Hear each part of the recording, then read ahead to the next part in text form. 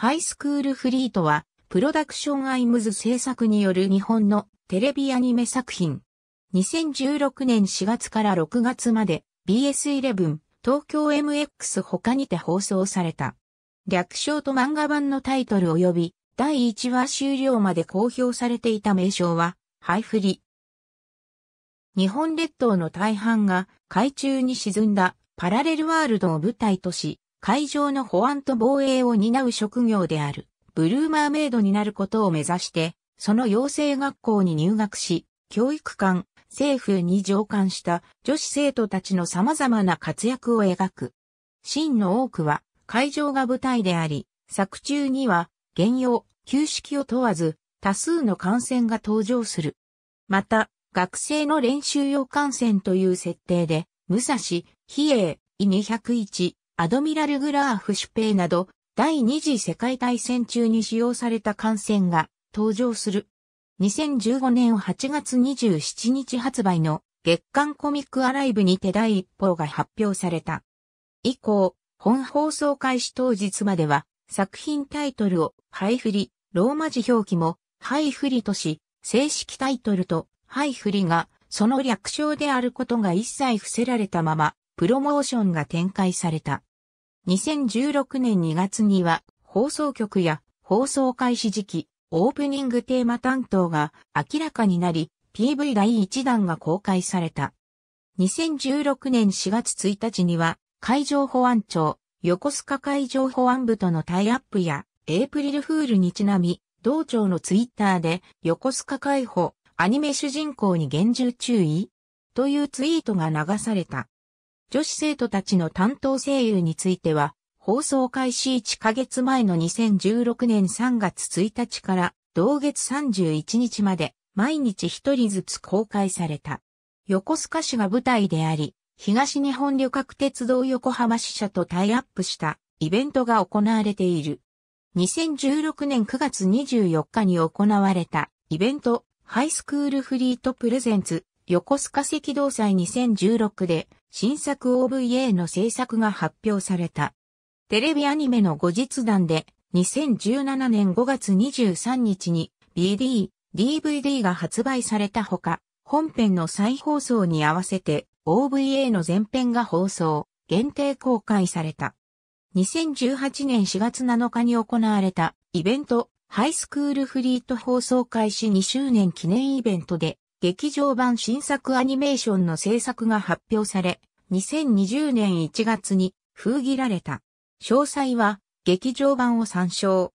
本作の世界では坂本龍馬が暗殺を免れたことで現実の歴史から分岐しており、日本や世界も史実とは異なる発展を遂げている。龍馬の奮闘と西郷隆盛、中岡慎太郎をはじめとする海援大使たちの活躍により、龍馬は大宮事件における暗殺の危機を脱する。政治の世界にさほど興味がなかった龍馬は、早々に日本の政治の表舞台から退場し、世界を相手にしての貿易事業を起こすことを決断する。その前段階として龍馬は海援大使や姉の乙女、大使の妻女たちを連れて世界を見聞するが、この時同行した乙女や大使の妻女たちが中心となり、後にブルーマーメイドにつながる女子海援隊が発足することになる。世界見聞を終えた龍馬は、五代、西助や明治政府内での政策の違いから下野した西郷と共に、日本初の海運会社、坂本商会を設立。坂本商会は、海運業を主軸として、世界各国と貿易を展開して、諸外国との関係を深めていき、日本最大の貿易会社となる。一方、日本は日露戦争後の講和条約によって中国大陸進出の足がかりを失い、さらに石油やメタンハイドレートの採掘に橋を発する急激な地盤沈下で平野部が海に沈む。国土の縮小と大陸進出の目を立たれたことで陸軍の規模は必然的に縮小する一方、海軍が増強されると同時に海上都市の整備が急激に進む。アメリカとイギリスが極東開発の拠点として日本との同盟を重視したことによってこの流れはさらに加速し、坂本商会を通じて資金や先端技術が導入され、日本は海洋立国として劇的な発展を遂げる。この頃、ヨーロッパでは第一次世界大戦に相当する欧州動乱が勃発。日本が直接参戦することはなかったが、アメリカを含むヨーロッパの国々がことごとく戦火に巻き込まれて動乱は長期化。さらに休戦後も講和会議が戦後処理をめぐって紛糾し、講和に多大な労力と時間を費やしたために、ヨーロッパ大陸諸国は軒並み疲弊する。こうした中、日本、アメリカ、イギリスを中心とした海洋国家は協力体制を確立し、シーレーンの安全確保のための国際機関設立を進め、海上安全委員会を中心とした国際海洋機関を設立。日本は海洋大国としてアメリカ、イギリスと共に世界に確固たる地位を築くことに成功する。なお、一時緊張した時期はあったものの、坂本商会が外交に尽力して日本とアメリカ、イギリスの友好関係がおおむね良好に保たれたこと、欧州動乱においてヨーロッパ大陸諸国が疲弊したことで再び争う余力がなかったこともあり、この世界では第二次世界大戦は起きていない。また、本作の世界では、飛行機やヘリコプター、ミサイルは理論が確立されなかったために存在せず、人工衛星がないため GPS も存在しない。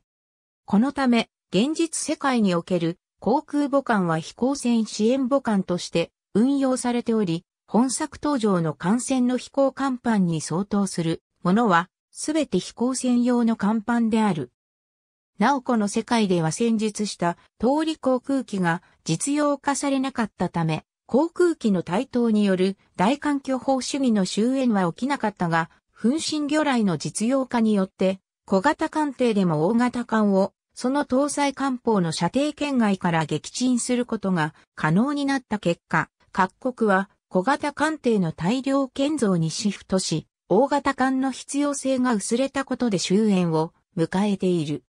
幼い頃、岬からブルーマーメイドの当時の機関、ヤマトを見た、岬明のと彼女の幼馴染の地名も、エカは、お互いブルーマーメイドになろうと誓いを立てる。時は、流れ、9年後。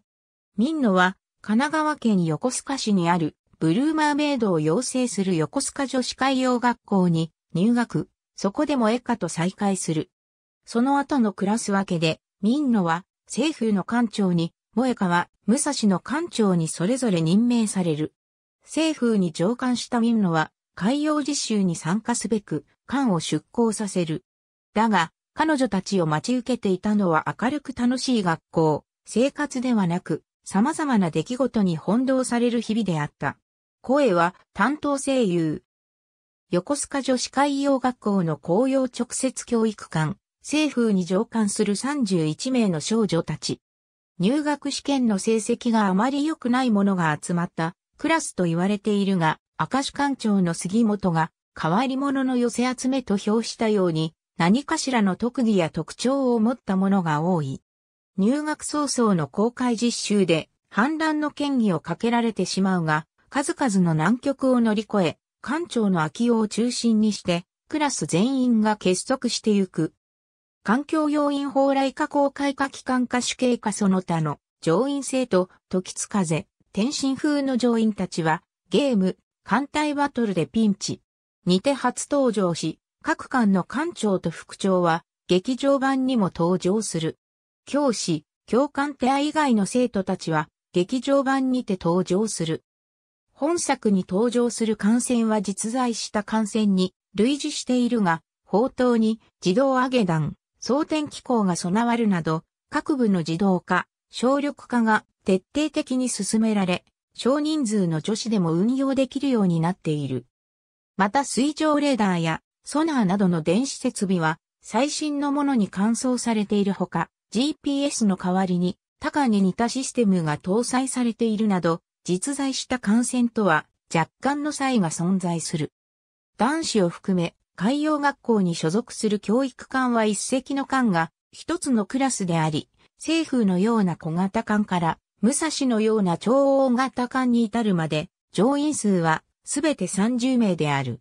2017年1月から3月にかけて BS11 にてパッケージリマスター版が再放送された。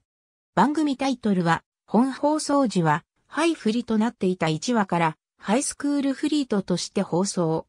全12話終了の翌週には OVA 前編、おさめいさご幸子がピンチが特別先行放送された。2018年1月より BS11 にて2度目の再放送が行われ、2019年1月より同じく BS11 にて3度目の再放送が行われた。3度目の再放送では、第11話放送の翌週にアプリゲーム、艦隊バトルでピンチの特番がオンエアされ、最終回はその翌週に回された。2020年1月1日には OVA 前後編が放送された。絹笠商店街に設置されたパネル作品中で横須賀市が登場することから横須賀市内でのタイアップ企画が行われている。2016年4月6日に三崎明のと地名もエカによるキャラクターソング私たち記念日が発売された。ハイスクールフリートアンソロジーコミック2016年6月30日発行 ISBN 978から4から04から068243から3いずれもスマートフォン端末向けのアプリケーション。ミンノと真っ白のハイスクールフリートラジオ、西風館内放送のタイトルで2016年4月9日から7月2日までニコニコ生放送にて毎週土曜日23時30分に配信されていた。